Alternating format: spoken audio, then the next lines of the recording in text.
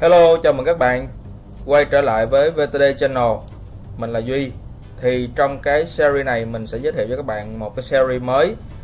Nối tiếp cái series WordPress cơ bản Đó là series WordPress nâng cao. Thì các bạn nhìn trên màn hình Ở series này mình sẽ nói về các cái chủ đề Và các cái loại website mà, mà nâng cao. Các bạn có thể thực hiện được đối với WordPress thì mở đầu cho cái series WordPress nâng cao, mình sẽ hướng dẫn các bạn làm website về tin tức và tạp chí. Các bạn có thể dùng cái loại website này để mà chúng ta hiển thị những cái tin tức, dạng như là tin xã hội, tin tuổi trẻ hay là tin về giải trí. Hoặc là các bạn cũng có thể hiển thị những cái nội dung, những cái bản tin về chuyên môn của các bạn. Ví dụ như là các bạn làm về marketing thì các bạn có thể làm một cái website chuyên về marketing. Hoặc các bạn làm về kinh doanh thì các bạn có thể làm một cái website chuyên về kinh doanh. Ý mình muốn nói là đối với cái loại website này các bạn có thể làm nội dung một cách rộng như là các website tin tức tuổi trẻ vn express này nọ vân vân. Hoặc theo một cái hướng thứ hai là các bạn có thể làm một cái theo cái nội dung đó, nó chuyên môn hẹp hơn. Ví dụ như là chuyên môn về kinh doanh chuyên môn về bất động sản chuyên môn về marketing. Thì trong cái series này mình sẽ hướng dẫn các bạn làm website dạng như vậy. Rồi, về yêu cầu tối thiểu. Yêu cầu tối thiểu để các bạn theo dõi được cái series nâng cao tại VTD Channel thì mình có một vài cái yêu cầu tối thiểu như sau. Thứ nhất là các bạn sẽ xem qua cái series WordPress cơ bản tại kênh của mình. Hoặc là nếu các bạn không xem qua cái cái series cơ bản thì các bạn phải có kiến thức về WordPress cơ bản, ví dụ như những cái kiến thức như sau. Thứ nhất là về khái niệm mô hình ngôi nhà và các khái niệm cơ bản ở trong website. Cái thứ hai là các bạn phải biết mua tên miền và mua hosting để mà cài đặt và thiết kế web. Cái thứ ba là các bạn phải nắm rõ cái cách thức cấu hình, rõ DNS tên miền và hosting. Cái thứ tư là các bạn phải biết cấu hình hosting để cài đặt WordPress. Thì nếu các bạn chưa xem qua cái series cơ bản, thì ở cái bước này có thể các bạn sẽ thắc mắc là tại sao chúng ta phải cấu hình hosting để cài đặt WordPress. Bởi vì mặc định hosting khi mà các bạn thuê ở các nhà cung cấp hosting, nó chưa có cấu hình tối ưu cho WordPress. Cho nên là bắt buộc chúng ta, không phải bắt buộc mà mình khuyến nghị các bạn là chúng ta nên cấu hình một số thông số ở trong hosting để mà WordPress hoạt động tốt hơn và tránh được những cái lỗi cơ bản hoặc là những cái rủi ro về bảo mật sau này. Và cái cuối cùng là các bạn phải biết kiến thức quản trị WordPress cơ bản. Thì kiến thức quản trị WordPress cơ bản nó gồm những cái gì? Nó gồm tất cả những cái thao tác, những cái cấu hình ở trong phần admin của WordPress tức là các bạn phải sử dụng qua hết tất cả những cái mà WordPress mặc định cung cấp cho chúng ta ở trong phần admin. Còn ở cái quản trị cơ bản thì mình không yêu cầu các bạn là phải biết cài đặt rất là nhiều cái plugin rất là nhiều cái à, giao diện có phí hay là trả phí hay là miễn phí đó. Mình chỉ cần yêu cầu các bạn là về những cái gì mặc định mà WordPress cung cấp sẵn cho chúng ta và chúng ta biết cách sử dụng chúng ta biết cách cấu hình là được rồi khi mà các bạn nắm vững được những cái kiến thức cơ bản này rồi thì chúng ta tiếp tục qua phần nâng cao. Tại vì trong cái series WordPress nâng cao này mình sẽ không nói chi tiết và mình cũng sẽ không nói nhiều về những cái kiến thức cơ bản mà mình đã trình bày ở trong cái series cơ bản. Lý do là vì mình muốn đẩy nhanh cái tốc độ triển khai một cái website cho cho các bạn thực hiện cái nhanh chóng nhất có thể tránh những cái trường hợp mà mình nói đi nói lại, lặp lại những cái kiến thức mình đã nói rồi ở những cái video trước rồi ha. Những cái video tiếp theo thì mình mình lại nói nữa thì nó sẽ phát sinh cái chuyện là nhàm chán hoặc là nó làm loãng cái nội dung trong cái video. Thì xin các bạn lưu ý cho điều này. Thì nếu mà ai chưa xem qua cái series WordPress cơ bản của mình thì các bạn có thể nhìn trên màn hình. Mình sẽ hướng dẫn các bạn. Đầu tiên là các bạn truy cập vào YouTube.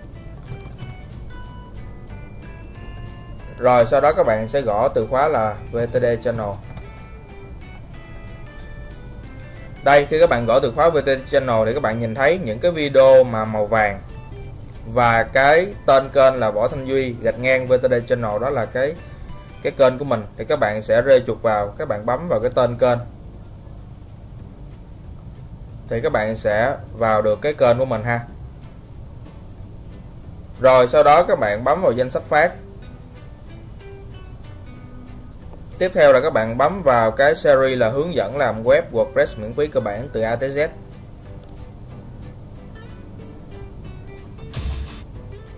Tại cái series này, các bạn sẽ xem qua những cái kiến thức mà các bạn chưa nắm vững. Ở đây mình có phân bài và có ghi rõ những cái nội dung mà mình trình bày ở trên cái tiêu đề video thì các bạn có thể đọc lướt qua để mà chúng ta xem qua cái cái nào mà chúng ta chưa nắm vững thì chúng ta xem lại. Còn cái nào mà các bạn vững rồi thì các bạn có thể bỏ qua. Hoặc là các bạn có thể xem hết từ bài 1 cho tới bài thứ 15 của cái series này. Và mình hướng dẫn cho các bạn cái cách mà chúng ta xem nhanh một cái video là các bạn bấm vào cái biểu tượng bánh răng ở YouTube. Rồi các bạn chọn tốc độ.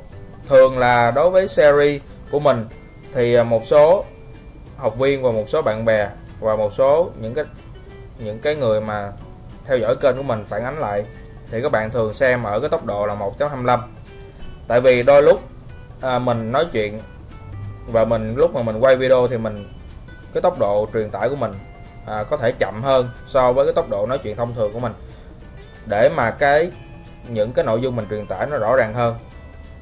Thì các bạn có thể bấm 1.25 để mà các bạn xem cái video cho nó nhanh và cho nó liền mạch cho nó lưu loát đó.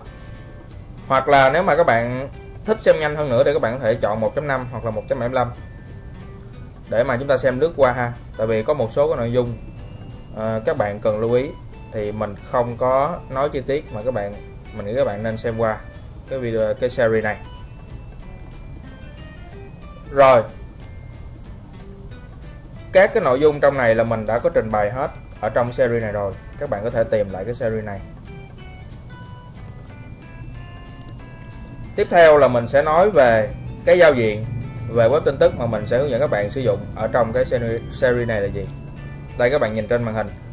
Đây là cái trang demo mà mình làm cho các bạn. Và mục đích đầu ra của các bạn sẽ là cái website giống như thế này, hoặc là những cái giao diện mà cái theme này nó hỗ trợ sẵn. Đây mình sẽ cho các bạn xem từ trên xuống dưới. Đây là một cái giao diện chuẩn về tin tức hoặc là tạp chí. Và đồng thời các bạn cũng thể dùng giao diện này để mà xây dựng cho mình một cái website về kiến thức chuyên ngành hoặc là tin tức chuyên ngành. Các bạn thấy đây rất là đẹp. Ở đây có phần menu chúng ta có thể sổ ra và có category, có chuyên mục để chúng ta chọn.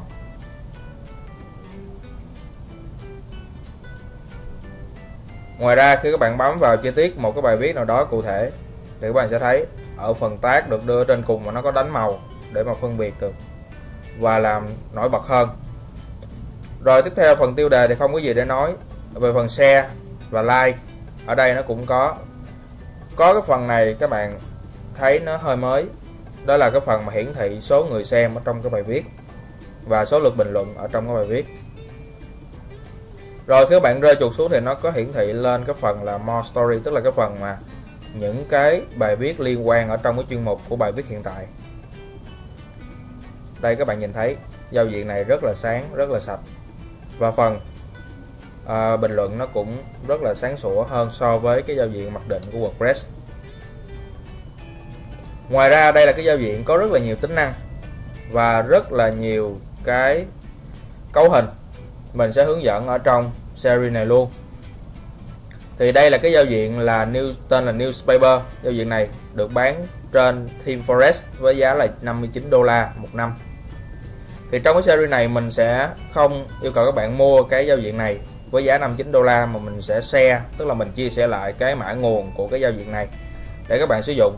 Và mình sẽ hướng dẫn các bạn là cấp rắc cái giao diện này dĩ nhiên là nếu mà các bạn đang sử dụng các bạn tải cái giao diện này về theo cái link mà mình hướng dẫn ở trong video, và các bạn làm theo cái cách hướng dẫn mà mình rắc cái giao diện thì các bạn sẽ làm được thành công 100% đối với những bạn mà khi chúng ta xem cái video này quá lâu về sau, tức là cái video này hiện tại mình đang quay là ngày 13 tháng 12 năm 2018 nếu qua tới 2019 hoặc là 2020 đó, các bạn xem, vô tình xem được cái video này thì các bạn có thể lên mạng chúng ta Google tìm kiếm lại cái cách rắc cái newspaper ở cái version hiện tại các bạn ha. Còn đối với version mà mình chia sẻ trong cái nội dung series này thì dĩ nhiên là cái phương thức rắc nó là hoạt động được 100% rồi thì trong cái video đầu tiên mình giới thiệu tổng quan như thế này. À, à, nếu các bạn có những cái thắc mắc có những câu hỏi thì các bạn có thể để lại bình luận ở bên dưới. Mình sẽ trả lời những cái câu hỏi thắc mắc của các bạn các bạn nếu thấy hay hãy bấm like và share cái video này. Và à, đừng quên đăng ký kênh của mình bằng cách là bấm vào cái nút đăng ký. Các bạn ở đây tại vì mình đang đăng nhập YouTube thì nó không có nút đăng ký. Các bạn sẽ thấy cái nút đăng ký ở đây. Hoặc là ở trong cái mô tả của bất kỳ video nào mình luôn để cái link là link đăng ký subscribe kênh YouTube để nhận video mới nhất thì các bạn bấm vào link này. Là chúng ta có thể đăng ký subscribe cái kênh của mình. Và khi mà mình sản xuất ra một cái video nào đó thì các bạn là người nhận được video đầu tiên. và các bạn sẽ không bỏ lỡ bất kỳ video nào của mình. Rồi xin trân trọng kính chào các bạn. Hẹn gặp lại các bạn ở video thứ hai